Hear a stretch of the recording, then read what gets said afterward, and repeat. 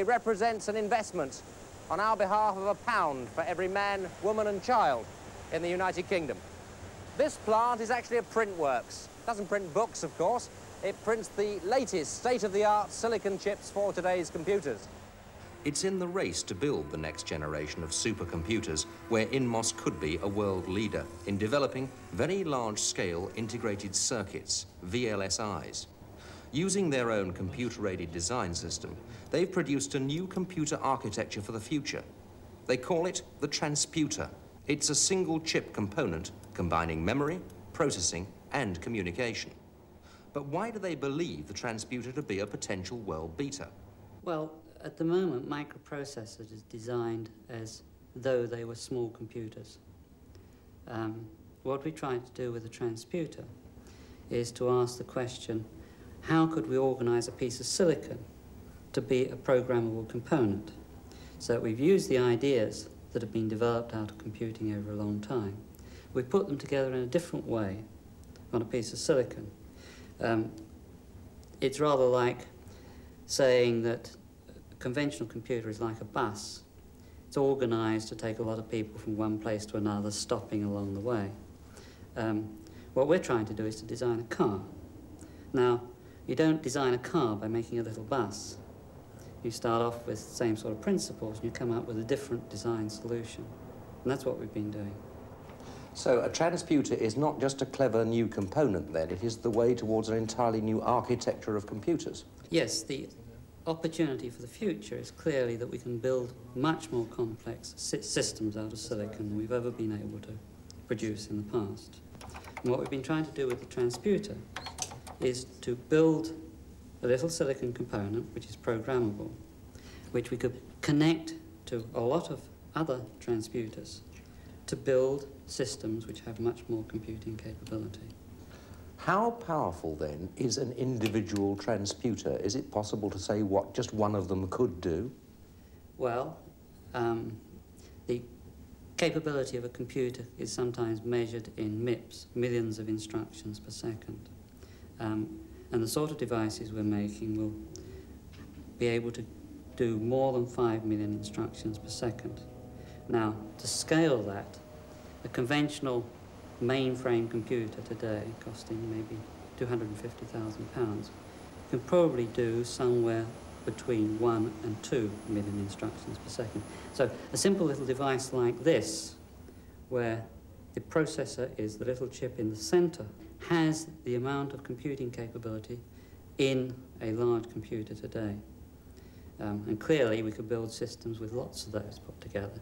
So rather than just making something which goes three, four times as fast as a conventional computer, if we can put hundreds of these together, then we've got the potential of making systems which can go a hundred or a thousand times as fast as the computing systems we have today.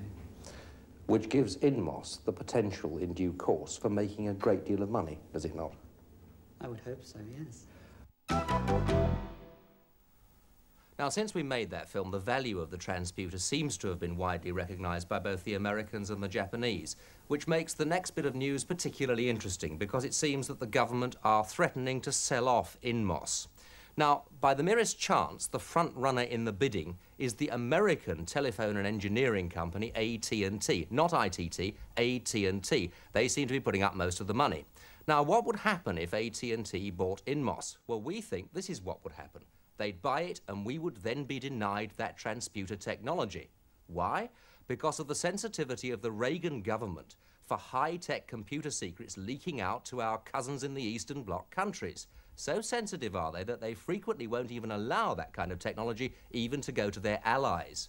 And if you don't believe me, have a look at some of the front pages for some of the big computer courses that are running in America right now, where in very small letters you will see written down, American nationals only may attend. They're really very sensitive indeed. So if the transputer gets into American hands, we, and after all it was us who developed the thing, may be denied the use of it.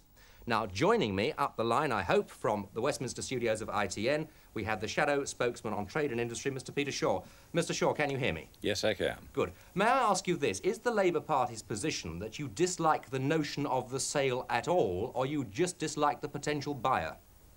Well, certainly not uh, uh, enthusiastic about the sale because it has been a very successful partnership between these uh, amazingly inventive uh, American and British entrepreneurs and research men and public um, uh, finance.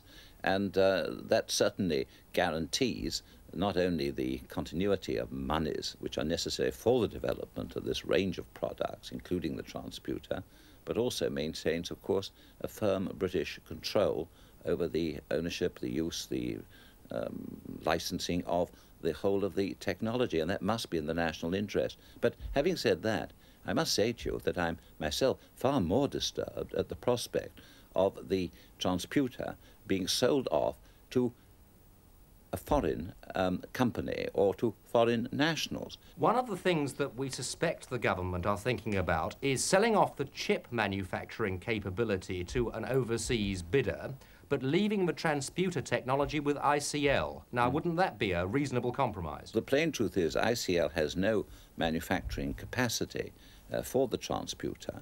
Therefore, it would have presumably either to make an arrangement with the uh, um, AT&T uh, in order to uh, um, engineer it or to manufacture it here in Britain, presumably again at, the, at its now uh, at the Newport facility, which will have passed into AT&T's hands. And I understand that in order to uh, conform with the uh, AT&T technology, there would have to be a, a re-engineering of the whole and redesigning of the whole product, and we would lose at least a year now, that's one, one possibility, and not a very satisfactory one, and there's no, um, you know, the whole agreement would have to be worked out with AT&T.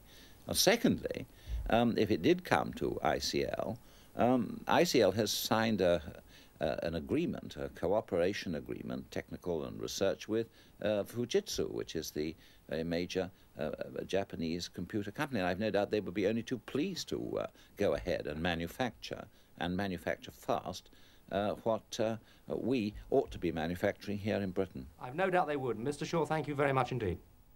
Well, watching all that with me, I have Alan Benjamin, who was the chairman of IT82, is a director of the software company, the CAP Group. But perhaps, Alan, more importantly for this exercise, you're also the chairman of the NEDO Committee on the Long Term Consequences of Information Technology. In which capacity, let me ask you this.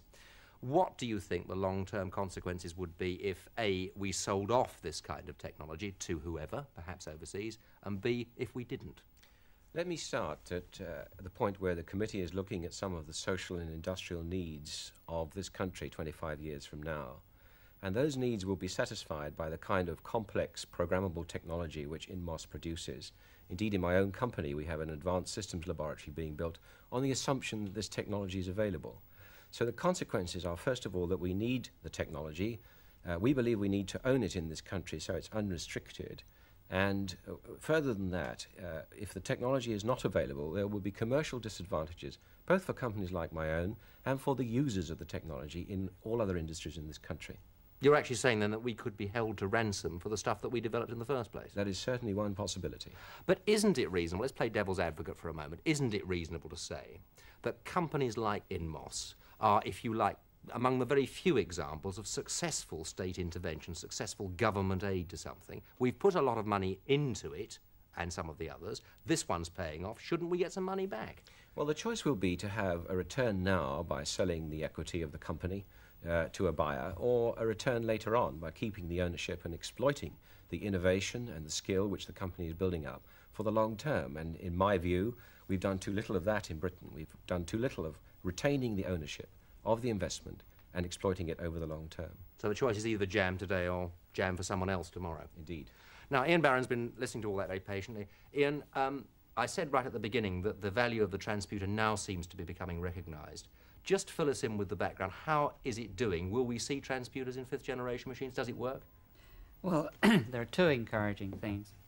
Firstly, um, we have been talking to a lot of people around the world and there does seem to be increasing recognition that um, the sort of approach that we're suggesting does have possibilities, and we have quite a lot of um, research groups and companies thinking about ways of building more powerful mm-hmm. systems using transputers.